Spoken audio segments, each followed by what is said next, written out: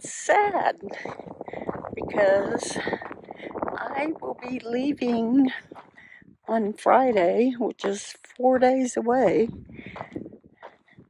to go to New Mexico for the summer. I have been here on the Sa'Teen Alpaca Farm for two months, and it's been such a joy.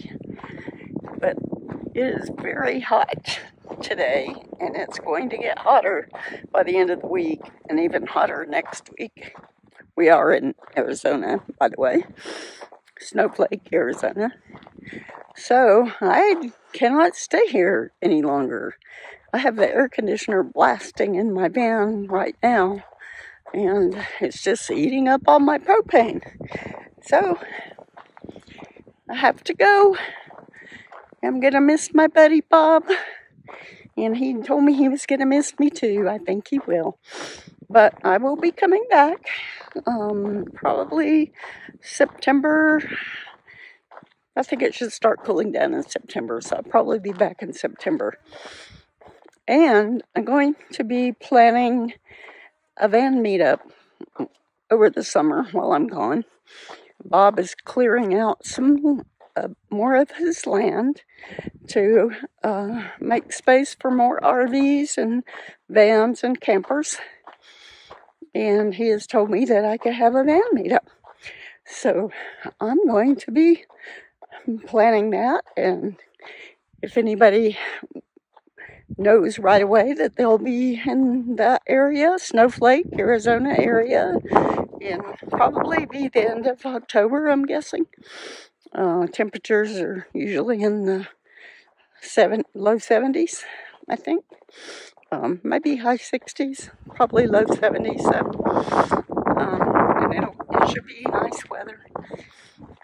And uh, I don't have any plans at all for any activities. So, if you have any ideas for those, um, that would be great. I just think having a bunch of band people come together is uh, pretty much a given activities.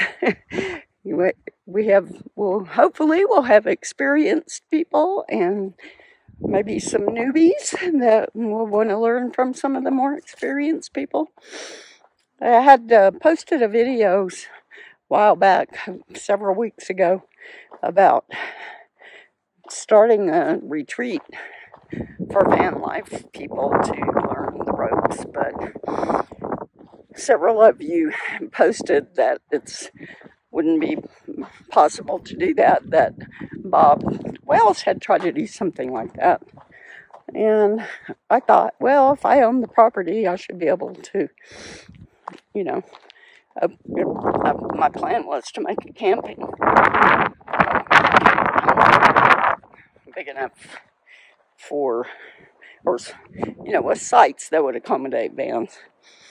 And uh, I thought, well, I should be able to do whatever I want on my own property. But all of the property that I looked at while I've been here um, is not zoned for that type of thing. And I'm told it would be very difficult to get the zoning changed.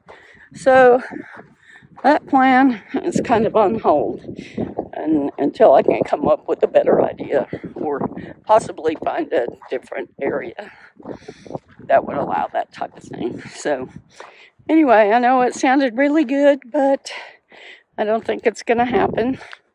But that doesn't mean we can't, you know, have a, a meetup every now and then here on Bob's property. He loves having the company. He already is a harvest host, so he's used to having RVs and, and vans and campers come, you know, stay on his property. So uh, I think he would, I think he's actually looking forward to having this van um, meet up because he does enjoy uh, meeting the people and he he's really likes for people to have a good time staying on his property. So I think, uh, you know, maybe this could be more than just a one time thing. So I'm going to head back to the van because It is extremely hot out here, and uh, the wind is blowing a little bit, so it's not terrible, but I'm uh, getting a little sweaty.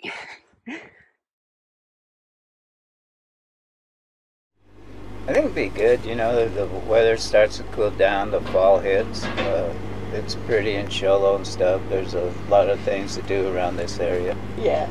If you're not familiar, um, we're in Snowflake, Arizona, which is what 30 minutes from Show Low. Yeah, roughly. Yeah, Show Low's the biggest town in the area. We have a little town in between named Tate called Taylor, and uh, it has a Walmart, and there are lots of restaurants around here. And there's a dump station. Well, the closest dump station we can find so far is in Show Low. Uh, but I think there may be one closer. We'll keep looking and, you know, post that information as we find out. Yeah. But we're talking about uh, renting some porta potties for the event so that we will have some bathroom facilities but you will, and he also has uh, water that you can fill up with water. Uh, and there's also trash. There's a big dumpster at the entrance to the uh, farm, and so you'd be able to throw your trash in there. But there, there won't be any dump facilities. so uh, you need to make sure if you come that you have uh, your self-contained so to have some form of toilet in your van, whether it be a black tank or a composting toilet or a five gallon bucket. but there will be trash facilities for you. and I have not even begun to think of what kind of activities may be uh, offered for the event, but um, I will keep you posted as things develop. And uh, Bob, do you have anything else to add? No, I, I think you would enjoy it up here. Uh, there's a lot of activities. The weather cools down. Uh, the nights get a little chilly. Then we have the alpacas here that you can enjoy, and, and then there's a little shop where you can buy some alpaca items. Yeah, he has a lot of cute little alpaca stuff in there. And uh, some of my art is in there. Although everybody that comes here is more interested in the alpacas. Yeah. yeah. So the if you have not seen the alpacas in my previous videos. They are adorable, and he has 21. Yeah. 21, and I think he's gonna bring. He has some more that are um, on a farm up in Colorado. I think he's gonna bring those down. So, how many will you have now? Anywhere from 30 to 40 of them here. 30 to 40. By that time. Yeah, he's been busily working on pens to um, house the alpacas that he'll be adding to to his, how, do you call it a herd or yeah. a flock? alpaca herd. They're, uh, alpaca herd. They're related to the camelid family. They're a herd animal. A herd. Yeah. They're very cute. so yeah, and he gives tours, and he'll tell you everything you want to know about an alpaca, and ask you if there's anything that he didn't tell you, and if, if there is, you just ask him and he'll tell you. So anyway, this place, uh, as if you've watched any of my previous videos, you know that I love it here. Um, it's beautiful. There are lots of juniper trees on the property. It's 20 acres property. And there's little hiking paths that go all around the outskirts and just take you through little rock canyons. And it's just really beautiful back there. There's a lot of wildlife here. There's a jackrabbit, at least one jackrabbit and some cottontail rabbits and some squirrels and some gigantic ravens who have a nest in one of the trees back over this way. And there are four babies in there. They're, and they're kind of big babies now. I don't know when they were born but I counted four when I looked in, up at the nest the other day when we walked by. So anyway um, I just, also Bob is very proud of his new tractor. and he's got a fellow that's over there clearing out the, uh, the additional space on the property, which um, uh, will allow us to host about maybe 20 to 30 vans or small campers. As a harvest host, he can host up to how big is the biggest rig?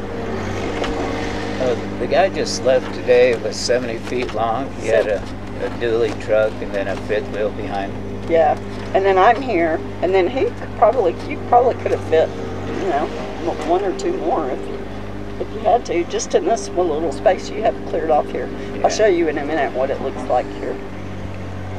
Um, so it, so I'm also trying to talk him into doing hip camp because that's become very popular now, and uh, this would be a good place for a Hipcamp. We're nine and a half miles Yeah. from Snowflake out on uh, Concho Highway. It's a paved highway, um, and he is right on the corner of the the highway and the little dirt road that you turn down. Close the toilet and wear it out. And here we got Mike on the brand new tractor that Bob just got. You can see how shiny and new it looks. And he's uh, cleared out this section over here. And, but you're gonna clear where, how far? We can walk out and I'll show you what Oops, we're okay. clearing to make room. All the way down to the driveway, the entrance. Oh, you're gonna clear all of it? Yeah. Oh, So there'll be plenty of room. wow, that's, that's a lot. Yeah, but Okay. you'd be able to space it out where you have space in between. Yeah. Um, it'll be nice, you know. You could have a central area where you can have a campfire or Okay, something. sorry, I'm not, I'm not even filming you. Um, also, he, here, uh, you can see where I've been washing my van right there. Um, there's a, a water spigot right there, and there's one, another one on the back side of the building. So, plenty of water, so you can fill your tanks up. And, uh, like I said, we're looking into renting some porta potties but be prepared to come self-contained if you decide you want to come join us. So I'll be posting more about it. Uh, do you have anything to add, Bob? No, you know, it's easy access. The driveway is easy to get into. Uh, Mm, you, you know, Show Low, like you said, it's 30 miles away. There's a lot of nice restaurants there. yeah, Uh, a lot of activities going on. Uh, yeah. It'd be nice and cool. You know, the fall colors might be coming in. Mm-hmm. Yeah. Oh, there's also a Lowe's and a Home Depot in Show Low and a gigantic Walmart. And then there's a few lakes, you know, you could visit and what have you. It's a, Yeah. it's a nice area. It's pretty well centrally located. About three hours from Albuquerque, three hours from Flagstaff. Uh, Three hours from Phoenix. You're right in the middle of mhm.